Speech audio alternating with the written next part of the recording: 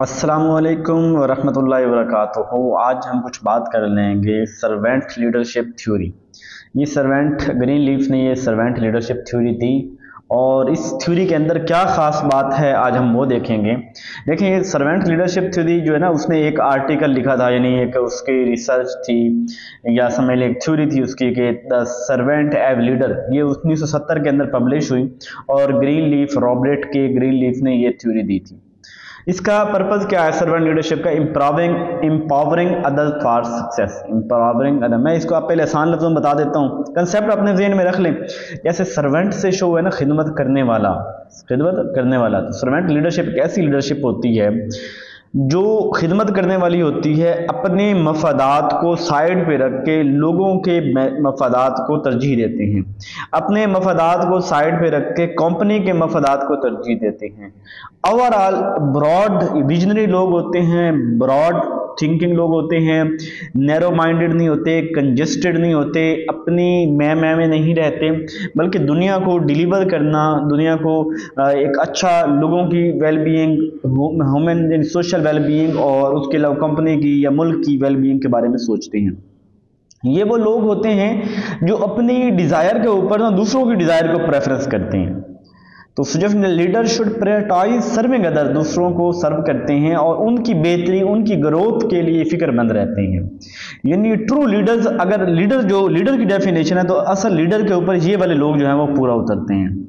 इनके अंदर कुछ खास खसूसियात हैं। हम किसको कह सकते हैं कि यार ये सर्वेंट लीडरशिप है तो कुछ खास खसूसियात जिसके अंदर होंगी, उसे हम सर्वेंट लीडरशिप का कह सकते हैं। पहले हम, जैसे इम्पैथी यानी यार वो बंदा जो है ना, वो put the put the feet in your shoe यानी इसको ये है कि अपने दूसरे के दुख की जगह पे अपने आप को लेके जाना। उसकी कंडीशन को समझना, उसके दुख को अंडरस्टैंड करना, उसके दुख को उतना ही बड़ा समझना जितना अपना है। लोगों के साथ अपनी फीलें देखें आज बहुत बड़ा मसला है लोगों का कि लोग लॉन्डली हो रहे हैं, अकेले हो रहे हैं, क्योंकि उनके ऐसा कोई नहीं मिलता काबिल इतबार बंदा, ऐसा कोई नहीं मिलता जिसके साथ वो अपने दुख शेयर कर सकें, अपने दिल की बातें किसी के साथ शेयर कर सकें, और कोई ऐसा शख्स जिससे वो पता हो कि शेयर करेंगे और हम उसके बाद सेफ़ सिक्योर रहेंगे उसके बाद वो हमें कोई नुकसान नहीं पहुंचाएगा वो हमें कभी ताना नहीं देगा। तो यानी ये लोग बड़े इम्पैथी होते हैं इनके अंदर। तो सर लिसनिंग बड़ी, बहुत बड़ी स्किल है। अल्लाह ने ज़बान एक दी है, कान दो दिए हैं कि लोगों को सुना जाए। तो ये बड़े एक्टिविटी होके एक्टिवली लोगों को सुनते हैं। उनकी जो क्रिटिकल स्किल फॉर इफ़ेक्ट उनकी ये लीडरशिप की एक ज़बरदस्त स्किल है कि वो लोगों को सुनते हैं। देखिए, दुनिया में ना बहुत से मसले सिर्फ़ सुनने से हल हो जाते हैं। आपकी बेगम नाराज़ हो, आप उसको टाइम नहीं दे रहे या कोई और वजह हो, आप उसके पास बैठ जाते हैं और उसकी बस थोड़ी देर सुनते रहें। वो अपनी जितनी आ, क्या कहते हैं कि अब जली हुई बातें या जो भी हैं वो आपको सुनाई जा रही है, आप सुनते रहें किदली सुनते रहें और बाद में जो बेहतर रिस्पांस दे सकते हैं, प्यार मोहब्बत से वो दे लें। वालदेन हैं आपके आपके कोई ऐसा दोस्त है, कोई बड़ी है, कोई बड़ा चाहने वाला है तो आप उसको अगर सुन लेते हैं तो बड़े मसाइल हल हो जाते हैं। तो ये लीडर भी ऐसे होते हैं जो लोगों की सुनते हैं, कि सुनने हीलिंग किसी के दर्द का दरमा बनना, किसी के दर्द को जो है ना वो सहारा देना, यानी वही बात है कि लोगों को सुनना, उनकी, उनके लिए जो है ना वो उनको सपोर्ट करना उनकी पर्सनल डेवलपमेंट यानी उनके काउंसलिंग की तरह जैसे है ना तो वो करना लोगों को अवेयरनेस देना। यानी मुखलिस दोस्त क्या करते हैं कि आपको अवेयर करते हैं कि अगर हम इसको ऐसे कर लेना तो ये बेहतर होगा। ये अगर आप ये बड़ी खुशी चीज़ चीज़ तस्लीम कर रहे हैं ना, मैं अपने कॉलेज के अंदर मैंने जो है वो इंग्लिश मैंने ऑफ़र की कि इंग्लिश मैं पढ़ाता हूँ, क्योंकि यहाँ पे बर्डन था इंग्लिश का। नो डाउट कॉलेज का ज़िम्मेदारी है कि वो अरेंज करें, लेकिन मैं चाहता हूँ कि मैं कुछ ज़्यादा डिलीवर करूँ। तो मैंने फ़र्स्ट ईयर की इंग्लिश ली और सेकेंड ईयर का मैंने कहा कि मैं ले लेता हूँ। मेरे वो बहुत ही मुखलिस मोहब्बत करने वाले, वो मेरे पास आए, उन्होंने कहा कि निशान बात ये है कि आप अच्छे बंदे हैं और ये आप ना खुद से इजाफी ज़िम्मेदारी ले रहे हैं। लेकिन आप अगर ये फ़र्स्ट सेकंड दोनों की इंग्लिश ले लेंगे तो जो ऑलरेडी दो प्रोफेसर हैं, ये ज़्यादा लूज़ हो जाएँगे ईजी हो जाएँगे। तो आप जो है ना, वो उन दोनों का ना लें, एक का ले लें। और बाद में देखा जब मैंने एक को पढ़ाया था मैंने कहा, यार, मैं दो ले लेता मैं बहुत थक जाता, मेरी तो बहुत ऑलरेडी रिस्पॉन्सिबिलिटीज़ हैं। तो मैं तो इतना नहीं कर सकता था तो ये उनकी बड़ी मेहरबानी मैंने उसमें इमोशनल में आकर दोनों कह दिए थे, लेकिन ये मेरे लिए मैनेज करना मुश्किल हो जाता है। यानी अब लोगों को अवेयरनेस में परसुएशन इन्फ्लुएंस पर्सनैलिटी होनी चाहिए, यानी जैसे टीचर जो होता है ना स्टूडेंट का आइडियल होता है स्टूडेंट टीचर को फॉलो करते हैं। ऐसे जो लीडर होता है ना, वो उसकी ऐसी पर्सनैलिटी होती है कि उसके स्टूडेंट उसके जो सब ऑर्डिनेट्स हैं, जो उसके वर्कर्स हैं, उसके फेलोज हैं, वो उसको फॉलो करें। ऐसी चार्मिंग ज़बरदस्त क्रिस्मेटिक पर्सनैलिटी होनी चाहिए। कंसेप्चुलाइजेशन वो प्रॉब्लम के सोल्यूशन को जानता हो। यानी एक बड़ी एंड ब्रॉडर उसकी सोच हो, चीज़ों के बारे में पता हो उसे ऑलरेडी कि इसके इसके कंक्लूजन इसके क्रॉस जो है, क्या हो सकता है? इसके कंक्लूजन क्या हो सकता है? कंसिक्वेंस इसके क्या हो सकते हैं? वो इसके जानता हो। और फॉर साइटिंग वो एंटिसिपेट कर सके कि ये जैसे चल रहा है फ्यूचर के अंदर हम प्रोडक्टिविटी हमारी कम हो जाएगी, ज़्यादा हो जाएगी, या ये हम खसारे की तरफ़ जा रहे हैं, बेहतरी की तरफ़ जा रहे हैं इंप्रूव कर रहे हैं डिक्लाइन कर रहे हैं तो फॉर साइटिंग हो।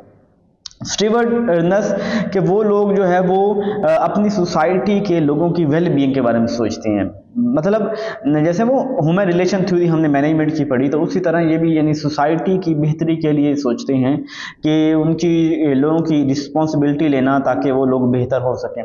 इसके अलावा लोगों की कमिटमेंट करना, उनकी ग्रोथ के ऊपर काम करना, उनकी बेहतरी के लिए काम करना, एक अच्छी कम्यूनिटी बिल्ड करना, जहाँ पर सारे कोलेबोरेशन से मिलजुल के काम कर सकें। कुछ ये खसूसियात हैं, इसके एडवांटेज यही हैं कि एक तो एम्प्लॉयज़ के अंदर मोटिवेशन पैदा होती है इंगेजमेंट पैदा लीडर अच्छा हो ना तो बड़े बड़े काम करवाए जा सकते हैं। जब लीडर लोगों के दुख दर्द में साथ खड़ा होता हो ना आके, और बेजा सेल्फिश और अपनी जो है ना, अपने मतलब ना निकालने वाला हो, उनका भी बारे में सोचें। तो ऐसे में जो है ना, वो बड़े बड़े काम लिए जा सकते हैं अपने वर्कर से। ऑर्गेनाइजेशन की परफॉर्मेंस भी बेहतर होगी क्रिएटिविटी इनोवेशन भी बढ़ेगी। यानी जहाँ पे ये होगा कि बस काम जल्दी से करो, वहाँ पे क्रिएशन क्रिएटिविटी नहीं होगी, लेकिन जहाँ पे मिलजुल के करना होगा, मोहब्बत से करना होगा फ्लेक्सिबिलिटी होगी तो वहाँ क्रिएटिविटी इनोवेशन बढ़ेगी। और कस्टमर के साथ इन लोगों रिलेशनशिप बेहतर होगा और एथिकल रिस्पॉन्सिबल यानी एक अच्छा ऐसा कल्चर पैदा होगा कि जहाँ एथिकल लेग पुलिंग नहीं होगी, वहाँ हर बंदा रिस्पॉन्सिबल होगा। डिसएडवांटेज इसके क्या हो सकते हैं? एक तो ये कि ये इम्प्लीमेंट करना मुश्किल है। यानी क्या, ऐसे ऐसे कुर्बानी देने वाले बहुत चंद लोग होते हैं कि जो अपनी काफ्ट के ऊपर, अपने मफादात को साइड पे रख के, अपनी आसानियों को साइड पे रख के, दूसरों की आसानी को जो कोशिश करें, कम लोग होते हैं। और ये बड़ा चैलेंजिंग है कि भाई मैं, मुझे एक चीज़ चाहिए, मुझे भूख लगी है, लेकिन मैं अपने मुँह से नवाला निकाल के अगले को दे देता हूँ। और उसके अलावा फिर ये भी है कि जब आप ऐसा करते हैं तो लोग शक करने लगते हैं। पता नहीं ये दकी मफाद है, पता नहीं ये ऐसे क्यों कर रहा है, पता नहीं ये इतना क्यों जो है ना आजकल जो इतना करीब हो ही जा रहा है सर के। तो इस तरह करके जब हम अपनी आफर्स अपनी जो खिदमात हैं सर्विसेज़ हम दे रहे होते हैं, या हम किसी को बढ़ के, यानी वो कहते हैं ना कि किसी कम ज़र्फ के साथ तो अच्छा सलूक ही नहीं करना चाहिए।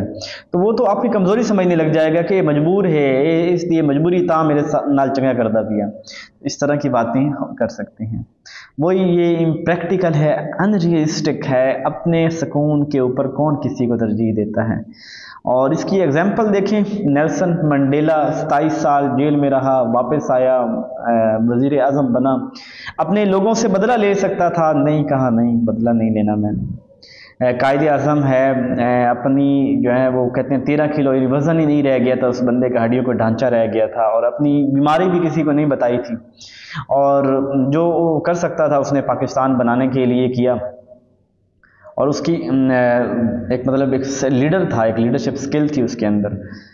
महात्मा गांधी वो एक नो डाउट लीडर इंडिया के लीडर है, एक अच्छा अच्छा इंसान था।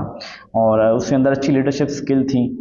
मदर ट्रीसा है मार्टिन लूथर किंग है बिल गेट्स बिल गेट्स तो जो शामिल कर लेते हैं। हाँ यार, देखो बिल गेट का पैसा है, वो पोलियो के ऊपर लगाता है, या चैरिटी पे लगाता है। तो चाहे तो और अपनी वेल्थ बिल्ड कर लें, लेकिन सुकून इसमें मिलता है, पैसा खर्च करने में इसमें शक की कोई नहीं।